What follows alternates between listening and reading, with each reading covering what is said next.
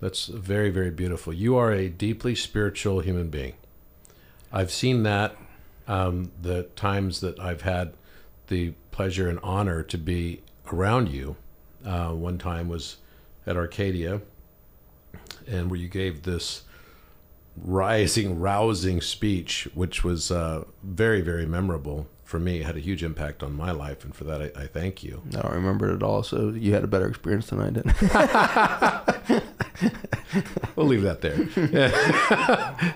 and um, it was uh, afterwards when we were sitting, you know, with Aubrey and others, that I really got to feel your your heart and how you express yourself and how genuine and authentic you truly are. And you are someone who literally wears like it's it's not an armor. it's completely penetrable. You wear your heart all over you, not just on your sleeve. And I think that's one of the the greatest examples of what it means to be a human being that I've ever seen embodied in someone. So that's a, a very, very deep compliment mm. for me to give to you. And it's such an honor to be here with you. But I'm sure that along your journey, you must have had major turning points. And I'm also sure that you probably, especially coming from three board certified spe- subspecialties, along your journey, you must have gotten some pushback uh, from those specialties and the friends and colleagues that you probably had in those specialties when you went through your life change. Can you tell us a little bit about what happened then? Yeah, I mean those stories are so many, and it was was a long and winding path. So it's too much to recount in a podcast, I suppose. But um, you know, uh, trying trying to distill down a couple of those.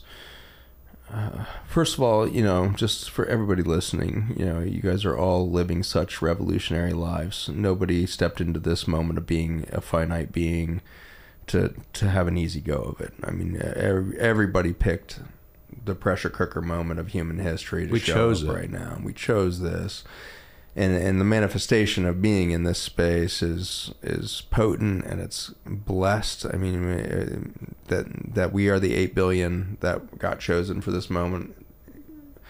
I believe there's probably many more, more infinite beings or infinite realities that tried to be here right now. You know, because it is the most interesting thing happening. It's, the, it's the, best ticket in the universe, right? It's so fascinating what's happening on this planet right, right now because it will change everything.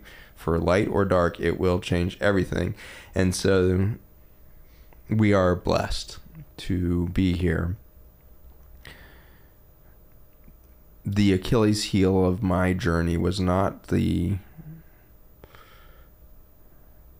not the naysayers of colleagues and you know family members and everything else that will come into your life to say you're crazy or you're on the wrong path or you're mm-hmm. making bad decisions the the thing that most limited the smoothness of my journey created the most extreme turbulence in my journey was my own doubt of self and the universe is relentlessly wearing that down. And so if you feel your journey is really tiring and exhausting and there's so much friction and everybody's trying to stop you, that is freaking you. like we are creating that. It's a yeah. condition for ourselves. Mm-hmm. And so the turning points that I look back on were all surrender moments and when I say surrender, that is finally the moment where I stop being my own problem and stop being my own biggest naysayer or you know opponent in in life. When you are finally so broken and so exhausted, so out of energy to maintain the stories that you're telling yourself, then you finally have the breakthrough. And I had to come to that many, many, many times, including in the last five days I'm constantly hitting another threshold of possibility of surrender and you know there's it, it, many times over the last decade as these have accelerated so much so that i'm just i can feel the next one coming I have a PTSD over these moments now, where I I, I pre I, I perceive mm-hmm. the exhaustion that I'm about to go through, and I'm mm-hmm. like, oh my god, I don't think I can actually survive it. I think this one will undo me completely, and I will just dissipate. there's a there's something I get to see under the microscope all the time in my biotech lab called apoptosis, and it was my area of specialty in mitochondrial metabolism when I was back in chemotherapy development days of my career. But apoptosis is such an interesting thing. It's it's when a, a mitochondria, a bacteria living inside of a human cell, realizes that human cell is no longer contributing to the greater whole. And the mitochondria flips a switch through this little protein that I was an expert in COUP-TF1, and that was my little protein expertise. And COUP-TF1 flips, and holy cow, the whole mitochondrial cascade suddenly triggers this apoptosis cell suicide event. And the human cell, which is thousands of times larger than a mitochondria, the whole human cell responding to that little signal from that little bacteria living inside that human cell says, ah, it's time for me to disappear and the cell literally under a microscope over the next minutes and hours and usually takes about 48 72 hours for a cell to completely move through this journey uh, at least that was the dogma I was trained in. Now I've found out and seen under a microscope that it can actually happen logarithmically faster than that. But nonetheless, it's it's at a slow enough rate that it's very easy to observe under a light microscope.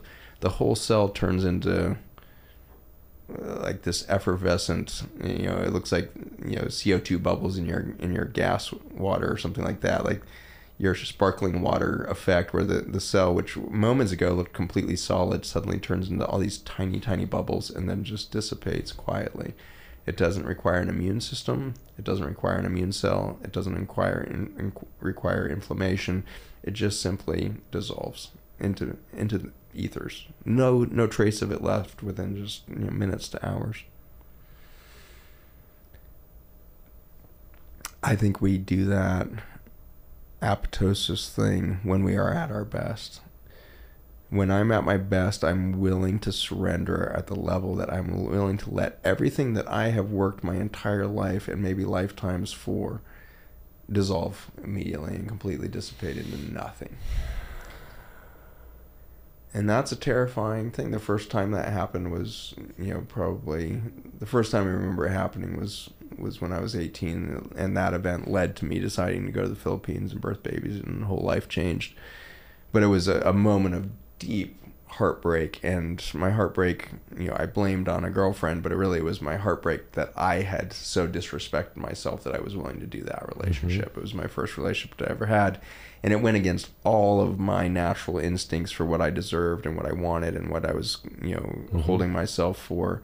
And so my heartbreak wasn't over the girlfriend. My heartbreak was over my own lack of self love that I would have done that to myself. And it took me years to figure out that that's why I was so deeply wounded by this experience because it didn't make sense because it was just a short little relationship and you're a kid and what the heck. But in hindsight, my gosh, was I heartbroken for myself that I would so not care better for myself that I would allow that that to be a first relationship. And as I've journeyed through life, I find that again and again, boy, the world builds us up to this point where we're so afraid to let go of the thing that we've built and and says, "Well, I've poured all this time and effort and all this in." And one of those, of course, was when I decided to finally leave academia in 2010. I was terrified because I knew for a good six months that this was going to be the decision, you know, deep mm-hmm. down. But my brain was not letting me go there, you know, mm-hmm. and everything was resisting this. And man, you know, I'd spent 17 years in academia. I'd had a whole house mortgage worth of school debt, and my kids were growing up quick and were heading towards college, and they were going to have school debt on top of mine, and and I was making seventy five thousand dollars a year as an academic professor, and it's like you just got nothing. Like you can't. You're insoluble financially. You're out of energy because you've been working 100, 120 hours a week for you know years, and you're just flat out freaking exhausted. And then the world's you know or your deeper higher self says all of that it was not the thing. You gotta let it go now. Just let it go. Bubble tea you know just let mm-hmm. that thing dissolve into effervescence. And the terror the i mean the gnashing of teeth and just like the anger at, at the divine and god and cosmos and myself the whole thing and so it's just you know i, I think i'm trying to paint brushstrokes here of a life of resistance against the possibility that it could be more beautiful than I can possibly imagine. Oh, That's all I'm resisting. wow. So you're resisting confronting the possibility that life could be more beautiful than you could possibly imagine. Why is that scary? It's frightening because the world has set our value system and the metrics for value on that which we can build. And if the real world that I live in, the real reality behind the, the, the stained glass is more beautiful than I can possibly imagine, then it means I didn't fucking build a thing. And that's the wound that I carry is that then I must not be valuable. Mm. If it is more beautiful than I can imagine, then why am I here? What what am I contributing